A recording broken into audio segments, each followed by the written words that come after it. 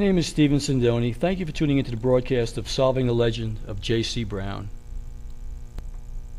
I'd like to begin this video with surveillance photos of helicopters that have been tracking my movements. The faces of the men who have been following me are insignificant. These men and women are disposable. They are merely pawns in the game. The point I'm trying to make is either I must be close to solving the legend of J.C. Brown, or there is something hidden near or around Mount Shasta that the secret government doesn't want the American people to know about. For nearly a year I had gone over all of the clues. It was my belief that Lord Cowdray and J.B. Body, alias J.C. Brown, stumbled upon the basalt volcanic rock formation by accident while vacationing at the Shasta Springs Resort in Dunsmuir, California.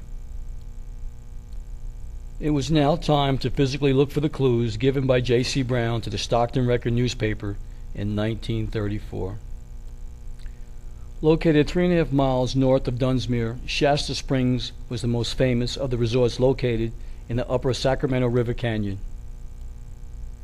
Trains would stop here so passengers could drink the natural springs water. The drinking of Shasta water was reported to have beneficial results and used as a remedial agent. Some passengers would disembark on the platforms and head for the incline railway, which for five cents would take them to the main part of the resort located high above the tracks.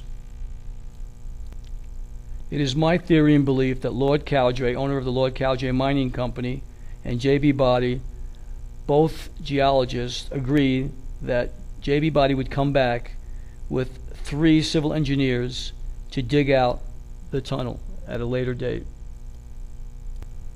As luck would have it, I was sent an email by a man who calls himself James the Truth.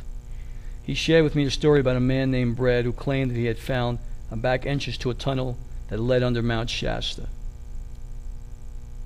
After reading the email, I was directed to a photo of the unusual rock formation. The photo was taken on November 28, 2008. The story that Brad told was rather remarkable. Brad claimed that he and his daughter were hiking in the ancient volcanic mountains of Dunsmuir, California, working off a heavy Thanksgiving dinner from the day before when something unusual happened. It was while they were hiking that they discussed the folklore surrounding the Mount Shasta region and the Lemurian civilization said to be living in a massive cave city within the volcanic mountain. Brad and his daughter rounded a corner and came across a rugged basalt rock face with two doors. They stopped and took photos, all the while wondering. When suddenly, a tall figure speaking with a slight British accent greeted them. Brad and his daughter asked where the man had come from, and he replied, From inside the mountain, the city of Telos. The man said that they had found one of the back entrances to Telos and he graciously invited them in. Even though Brad and his daughter were curious, they were quite frightened, so they declined. The figure then disappeared as quickly as he had arrived, but he first swore Brad and his daughter both to secrecy, never to reveal the location of the doors to Telos.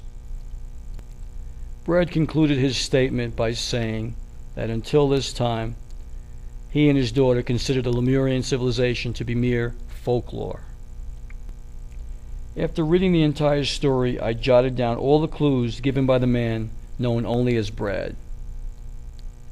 On the following day, I headed to Dunsmuir to find out Brad's true identity. I was able to get in contact with a longtime resident of Dunsmuir and find out Brad's true identity. Later that evening, while on the internet, I was able to find information as to where Brad was residing. I then shared this information with a friend named Larry, who was also interested in the unusual rock formation. Larry emailed Brad and was given this response. In Brad's email dated Thursday, May 28, 2009, he added that the doors indeed close off lava tunnels that go northeast towards Mount Shasta.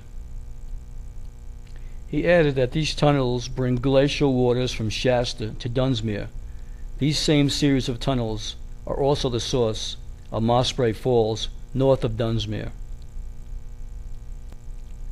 Armed with this information, I was able to hike up to the area and find the unusual rock formation that I believe is where the man of the legend J.C. Brown claimed to have found a tunnel that spiraled downward for 11 miles that led to an underground city under Mount Shasta. From the spot of the unusual rock formation, it is approximately 11 miles, just as J.C. Brown had claimed in his legend. What you'll see now are photos that were taken from the actual find. The reason the legend of J.C. Brown has remained a mystery is because this tunnel is located on private property. And it is for this reason that at this time I will not disclose the exact location until further exploration has been done and the cave and tunnel have been found. Thank you for listening and stay tuned for the next series of Solving the Legend of J.C. Brown.